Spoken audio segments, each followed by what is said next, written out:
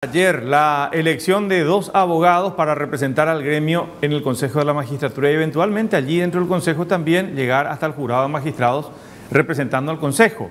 Dos abogados eh, afines al Partido Colorado, afines al sector cartista, son los que obtuvieron la nominación. El que no pudo conseguir su reelección es el abogado Oscar Pacielo. Estamos muy felices porque esta fue una campaña maratónica nosotros somos un grupo que queremos hacer bien las cosas, no tenemos malas intenciones. Comenzamos, comenzamos esta campaña hace cuatro meses aproximadamente contra dos grandes estructuras que tienen más de cuatro o cinco años de haber trabajado y nosotros, esta gente, demostró que el gremio está cansado de ciertas cosas.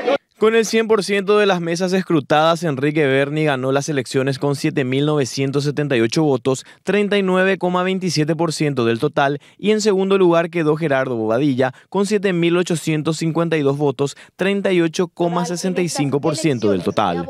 Ambos son afines al movimiento Honor Colorado y le darán amplia mayoría en el Consejo. No obstante, Berni es crítico a la gestión de Jorge Bogarín, quien patrocinó la candidatura de Bobadilla. Con la gestión de Bogarín y de Pacielo, ¿hubo independencia?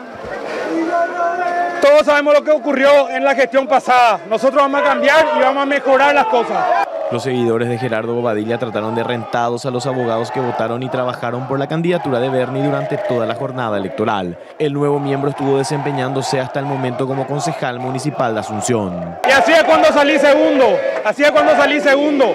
Nosotros no, no nos acordamos de nadie, nosotros queremos hacer bien las cosas. ¿Hay malas relaciones con el equipo de Bobadilla? ¿Cómo? ¿Hay, malas relaciones con Bobadilla? De mi parte no, de mi parte no, parece que de parte de ellos sí hacia nosotros.